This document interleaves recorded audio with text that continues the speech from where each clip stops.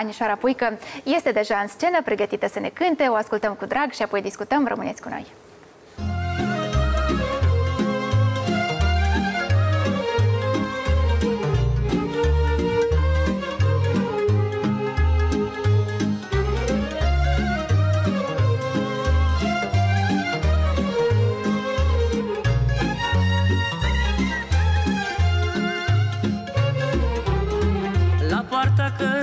Căsuții mele Cu un gard mic de noiele.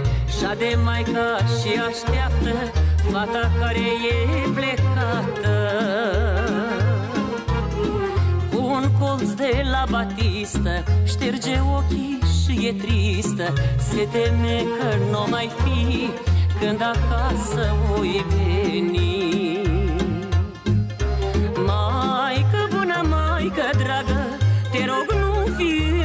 întristată În două, trei zile ajung Supărarea să-ți alung.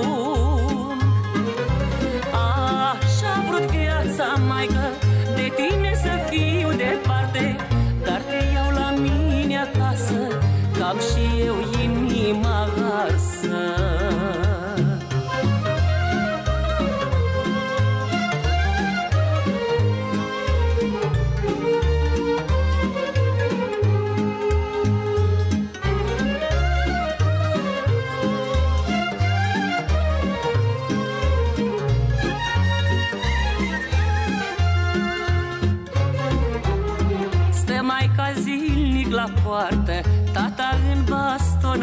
așteaptă Privesc lung pe ulicioară Să vină fata lor dragă. Doamne-mi vine ca să zbor De părinții mi este dor. Nu mai pot să stau departe Vreau să-i strâng cu drag în brațe. Maică bună, maică dragă Te rog nu fi întristată În două, trei zile ajung Supărarea să-ți alung. Așa vrut viața, maică De tine să fiu departe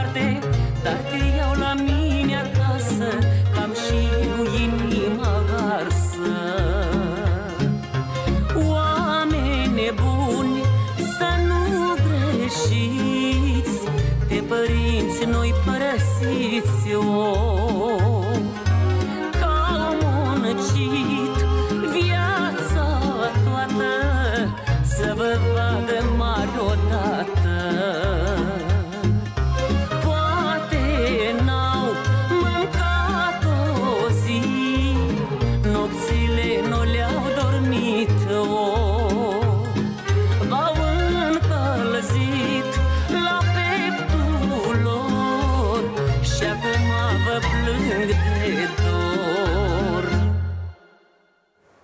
o bucurie să o ascultăm, să o admirăm și să discutăm cu doamna Anișoara Puică. Hristos a înviat, vă spun cu mare drag. Adevărat am înviat, adevărat. Bine ați revenit la noi. Cu drag, cu și drag vă întotdeauna. invit să ne așezăm. Pe canapeaua și, noastră. Da, pe canapeaua noastră. N-am și- mai fost de un mult. căr de ani.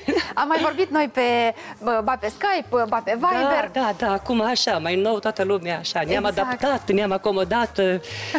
Important că ne auzim și ne vedem. Mai rar, dar așa e. Așa este. Vreau să fac această uh, remarcă. Uh, Tot timpul sunteți prezentată ca una dintre cele mai elegante uh, artiste de la noi și în această seară sunteți foarte elegantă, strălucitoare la propriu și știu că uh, contează mult pentru dumneavoastră, chiar dacă sunteți într-o emisiune de televiziune unde nu aveți, să zicem, sute sau mii de spectatori în față, contează să fiți la fel de elegantă. Da, bineînțeles, așa este bine unui artist. Nu poți fără asta, pentru că pe lângă repertoriul care îl îngrijești, toate melodiile care le cauți, fie de muzică ușoară, muzică populară, bineînțeles că și vestimentația. Întotdeauna am ținut cont de acest lucru și, na, mai suntem și Fem- femei și ne stă bine. Da. Mulțumesc Așa tare este. mult! Uh, recent a fost ziua televiziunii, uh, a fost uh, ziua Moldova 1. Da, Am da. împlinit peste 60 de ani, 63 de ani și cumva numele dumneavoastră cred că se asociază foarte mult cu postul public uh, de televiziune. Da, într-adevăr, pentru că uh, ș- știi când faci primii pași, sunt doi, trei oameni care te marchează într-un fel și nu poți să-i uiți, pentru că dacă nu erau ei, și aici vreau să ajung, dacă nu era Moldova 1, deci nu eram auzită, nu eram văzută și atunci pentru prima dată v-am povestit de multe ori participând la acel concurs Cântați cu noi, unde am cântat și melodia Trăiască Soarele de, de doamna Olga Ciolacu și compozitor Mircea Oțel, regretatul. Uite ăștia trei trei piloni m-au marcat. Moldova 1, Mircea Oțel și doamna Olga Ciolacu. Și vă spun de ce. Și poate de ce, poate și na, acum uh, sunt îmbrăcată așa, de fapt întotdeauna, pentru că când eram mică întotdeauna îmi plăcea și într-un fel uh, o veneram foarte mult. Îmi plăcea mai multe artiste, dar repertoriul dumneiei, poate probabil că vocea asta joasă, altă asta profund, nu știu, îi cunoșteam toate melodiile. Și atunci, nu întâmplător am ales în acel concurs melodia Trăiască Soarele, ca mai apoi eu v-am povestit când eram micuță și când au venit ei cu spectacol la mine în sat, cu domnul Alexandru Lozanciuc, cu doamna Olga Ciolacu și am rugat-o pe mama să iau repejor acasă, în speție, le-am așezat masă. V-am povestit că mă uitam la ei cum ei mâncau. Da, da. Și apoi domnul ei mi-a lăsat un număr de contact și ca să vezi când am venit la Chișinău, am participat la acel concurs și mai apoi domnul ei ține minte că mi-a zis, dacă ai să ai nevoie, pe telefonezi. Eu, fiind atunci mult mai îndrăzneață cum aș fi acum.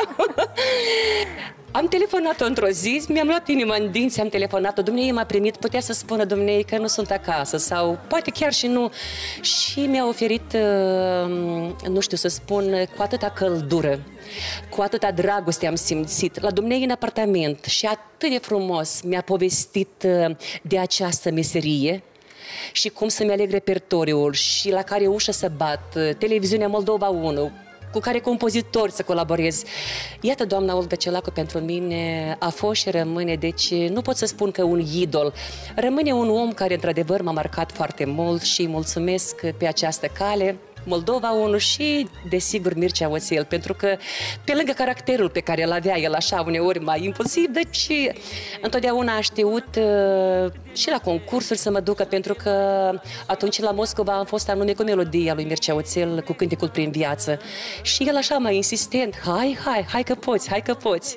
Și iată, dar de Moldova 1 ce să spun? Acum, dacă suntem în pandemia aceasta, chiar mi este dor de toate proiectele frumoase, spectacolele, toate revelioanele cele care cântam și muzică ușoară și șlagările anilor 70-80 și uh, acel proiect de Teodor Guță când am cântat uh, muzică populară împreună da. cu Nicolae Cibotaru. Deci proiecte și proiecte. Acum am mai participat puțin și la alte emisiuni interesante, am participat uh, la Erudit Cafe, doamna Galina Furtună, niciodată nu pot uh, să-i spun că nu da. vin, nu vin, sau voi, la cine vine la voi, voi online, am mai participat la emisiuni, la deschiderea Mărțișorului, unde am cântat melodia frumoasă, Cântă-mă amor de Eugen Doga, cu o reorchestrație de Sandu Gorgoz, uh, uh, cel de pe 8 martie spectacol, dar toate online, fără public, fără spectator și toate, nu știu cum se întâmplă, că sunt transmise de Moldova, Moldova 1. Cine altcineva? Voi, voi, voi aduceți bucurii în casele oamenilor. Eh, vreau să revin un pic la cine povesteați despre rolul eh, important pe care l-au jucat eh, anumiți oameni în viața dumneavoastră. Dumneavoastră, la rândul dumneavoastră, sunteți la fel de, eu știu, deschisă față de cei care vin și vă cer un sfat, ajutor, încercați cu toată mâna pe inimă, cu toată sinceritatea, cu toată dragostea, cu toată empatia. Hai să spun că acum cuvântul ăsta empatie, știi, să spun că e în vogă. Nu, cu toată empatie, din adâncul sufletului o spun. Nu zădar atunci când Ana Munteanu a participat la Vocea României și a mai participat și la alte concursuri și a mai încercat de multe ori. Dar atunci când făceam repetiții și soțul făcea repetiție cu dânsa dimineața până seara și la ora 9-10 ne-a sunat Smiley și ne-a zis că trebuie să schimbăm melodia. Repejor, caută la ora 9-10 seara studioul la cine, pe cine se trezești din somn, dar s-au găsit oameni, iarăși, cu dragoste și au făcut uh, lucrul acesta și atunci când acasă repetam și i-am zis, Ana, fii atentă că cineva poate să-ți spună din uh, juriu, Ana, Iana, acum cântă ceva a capela și tu din emoții poți să nu știi melodia sau tonalitatea. Și ea acasă a repetat, eu zic, uite, eu stau și eu sunt juriu, eu sunt Loredana Groza. Da. Și ca să vedeți, ea a cântat atunci melodia și când s-au întors toate scaunele, Loredana Groza a fost cei care a zis acum vrem să te auzim și ceva a capela cântând și ea a cântat melodia lui Lara Fabian un pic n-a luat în do minor, în re minor, dar nu contează, asta nu contează nimic absolut.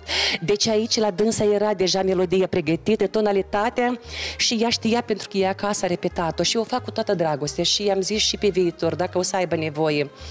Nu mai vorbesc de copii, toate proiectele muzicale, atunci când mă roagă că copiii vor să cânte cu dumneavoastră ceva, o melodie în duet sau uh, spectacole, nu știu, sau cineva îmi cere un sfat, care melodii, care textieri, cum să ajungem la Maria Stoianov, la Oleg Baraliuc, la Radmila Popovici, întotdeauna o fac din toată inima și chiar uneori chiar insist, zic, dar nu, dacă nu vă răspunde, încercați a doua, a treia oară. Doamna Stoianova a fost uh, la noi foarte recent și uh, se știe că aveți o colaborare de lungă durată și cred că e una dintre cele mai de succes colaborări între un interpret și un uh, textier, un uh, compozitor. Păi da, cel de sus așa a vrut, pentru că de multe ori am povestit în toate emisiunile, da. am povestit. Dumnezeu, într-adevăr, a fost uh, eu pentru dânsa sunt totul și ea pentru mine totul.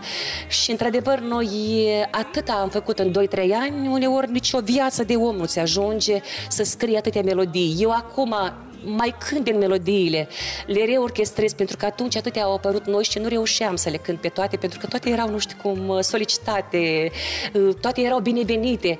Și zic că ea pentru mine a fost, uh, să spun, cel mai important compozitor, textier din uh, toată cariera mea. Pentru că până la ea am cântat foarte multe melodii frumoase, dar un artist uh, se face auzit, uh, remarcat prin șlagările care um, ți le cântă de la mic la mare. Da. Și iată eu, cel de sus, Maria Stoianova, așa s-a întâmplat că am 3, 4, 5 melodii care într-adevăr trăiesc și acum în timp. Se apropie această zi uh, specială, cu o conotație specială. Vorbesc despre Paștele Blajinilor și îmi permite să vă întreb uh, și acest lucru. Uh, ce veți face și către cine se îndreaptă gândurile și amintirile dumneavoastră în această zi? Păi vreau să vă spun mai întâi că miercuri am fost la Hâncești și am răsărit câteva floricele, am dat de pomană. Ieri am fost la Nicoreni, la Drochia, tocmai, și așa, nu știu cum mă întristat să de dimineață, în prima jumătate, un pic așa ploua, zic, ei, cum, și iarăși am după masă, un timp frumos, am răsădit flori, am măturat acolo, am dat de pomană, iarăși am stat chiar la măsuța afară, am mai vorbit cu părinții mei, cu mama mea, am mai plâns acolo, că știi uneori când se adună așa un ghem aici, când mergi la cimitir, le spui pe toate și parcă într-adevăr poza cea de pe te ascultă și na, că sunt părinții tăi care ți-au dat viață, te-au crescut, te-au legănat, te-au îndrumat în viață, te-au ajutat și de acolo te descarci. Am trecut pe la casa părintească, din păcate nimeni nu este, știi cum asta e tare dureros mi-am uh, strâns pătrunjel, niște usturoi din foamă, pentru că uh, sunt rudele noastre care au grijă de pământ, dar oricum, dacă să știi, dacă acasă nu locuiește nimeni, cel sarai care știi că fiecare moldovan își face casă și sarai. Sigur. De acum, na, să ruinează totul, pentru că nimeni nu e acolo, din păcate, și m-am întors așa, eu de obicei jumătate de drum stau, mă închid în mine și apoi stau și mă uit, zic, măi, zic, ia uite ce de frumoasă viața, toate lanurile astea. Vreau, apropo, să spun aici că mergând încolo și înapoi, eu n-am văzut Moldova noastră, drumurile astea, lanurile atât de curate, pentru că erau pungi, mai erau hârtii, nu știu ce. Acum, probabil, oamenii au înțeles că avem nevoie să avem grijă de pământ, de planeta aceasta și fiecare are grijă să-și facă curățel, știi? Și atât de tare m-am bucurat că tablou peste tablou, pe stânga, pe dreapta, o curățenie și o frumusețe rară și asta a fost, pentru că dacă nu se permite duminică și luni să mergem, o să merg probabil mâine la o biserică și o să ridic, dar ca să mă simt eu cu da. inima împăcată... Pentru propriul suflet. Am mers la cimitir, de fiecare dată fac lucrul ăsta. Înțeleg. Uh, mă uitam uh, pe... Am mai răsfoit YouTube-ul, am mai văzut câteva uh, videoclipuri lansate de-a lungul timpului de către dumneavoastră și mă uit tot timpul peste comentarii și am remarcat că foarte mulți oameni lasă aproximativ același comentariu și mă refer aici la faptul că mulți spun că melodiile dumneavoastră sunt balzam pentru suflet. Pentru dumneavoastră, ce, care este balzamul dumneavoastră? Asta vreau să vă întreb. Ascult orice, și muzică ușoară, și muzică populară, și muzică clasică, orice ascult. Multe melodii care mie îmi plac. Și acum venind la voi, dacă ascult ceva, o melodie și mi îmi place, atunci dau volumul tare și uneori îmi imaginez că, că se... parcă aș cânta-o eu, știi? orice ascult. Important așa că pentru starea mea de bine, pentru independență ce stare am eu în ziua respectivă, știi? Și ascult orice ascult. Melodii străine, din repertoriul colegilor mei, de muzică populară, zic, muzică ușoară, orice ascult. Deci sunteți un om normal, ca să zic așa, atunci când vine vorba de a conduce prin oraș și a asculta muzică. Da, da. Ascult și repertoriul meu când îmi place ceva, pentru că nu îmi plac toate melodiile. E una când înregistrezi în studio uh, melodia și parcă îți place și trece două, trei zile și na, că nu e așa, te mai reîntorci, nu știu ce, dar uh, nu poți să mergi... Să schimbi... Uh... Probabil uh, întotdeauna contează tonalitatea sau mesajul sau chiar linia melodică sau poate, de ce nu, uh, starea ta atunci în ziua respectivă când tu înregistrezi melodia dată și sunt melodii care îmi plac și mie. Da, există o melodie pe care ați lansat-o și în care nu aveați mare încredere. Ați crezut că nu o să prindă foarte bine la public, dar a prins și a devenit hit? Păi așa a fost melodia Viața mea, asta a fost a doua melodie după Ochii mei. Prima melodie scrisă de Maria Stoianova a fost Ochii mei și cea de-a doua Viața mea. Nu m-am gândit că ea, într-adevăr, iată, o să devină un șlagăr și chiar e cartea mea de vizită. Da. Pentru că de multe ori spun că a doua tinerețe a început sau altă melodie. Nu, viața mea totuși asta e o melodie care pentru mine spui viața mea și, și zice Anișoara Puică. exact. Dar ce mai lucrați acum? Acum la ce lucrez? La melodii noi, și cu Doamne ajută sperăm că poate în toamnă, pentru că de, deja și textul am și uh, melodia o am, uh, textul chiar vreo trei autori l-au scris, unul din România, doi de aici din Moldova și încă nu m-am hotărât pe care o să-l cânt, dar uh, deja inima îmi dictează care și probabil până în toamnă o să vin cu ceva nou. Important să treacă pandemia aceasta și să revenim la toate spectacolele, toate emisiunile, toate evenimentele, să revenim venim așa cum era odinioară și era bine și nu știam că era bine. Așa este, eram fericiți și nu știam cum e celebra vorbă. Vă mulțumim tare mult pentru prezență, pentru deschidere, pentru sinceritate. Mare drag și așa, mi-era dor de canapea. Asta e comodă, e comodă și încă o dată felicitări pentru toți colaboratorii, cei de la Moldova 1 care ne iubesc și noi vă iubim tare, tare mult. Succese, emisiuni frumoase și melodia care urmează, da. așa se numește. Azi e ziua ta cea mare și, nu știu, să fie pentru toți sărbătoriții și fiecare să se regăsească în anotimpul uh, său. Și apropo, dacă îmi dai voie aici, de multe ori am povestit despre Vera Gheorghe Râmbu, profesoara mea de geografie, frumoasă, că și de la ei, de la dumneavoastră am învățat da. da, cum să mă îmbrac și dumneavoastră recent a fost omagiată, sănătate și mulți ani frumoși. Vă mulțumim încă o dată, vă invit în scenă și vă dorim numai, numai bine. Vă așteptăm întotdeauna cu mare, mare drag, iar pe final de ediție, stimați telespectatori, vă dorim și dumneavoastră o seară liniștită, să o petreceți alături de cei dragi, aveți grijă de sănătate și nu uitați că ne vedem și mâine de la aceeași oră, pe final de emisiune, Anișoara Puică.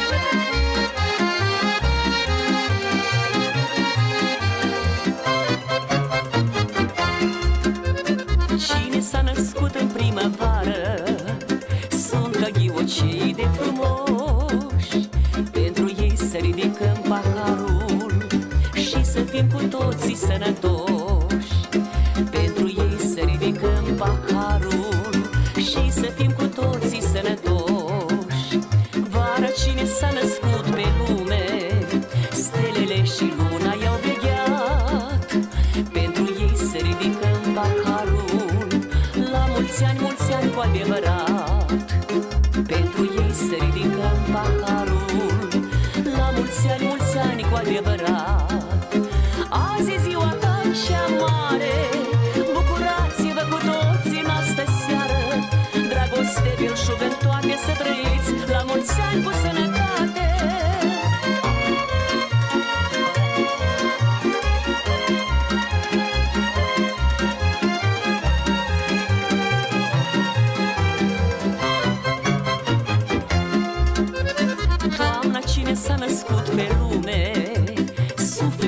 bogat îl va avea.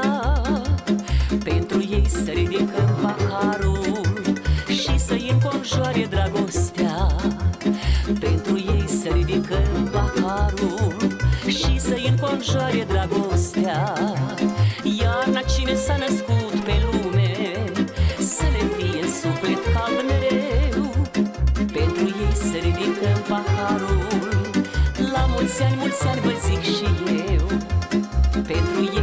strigăm paharul.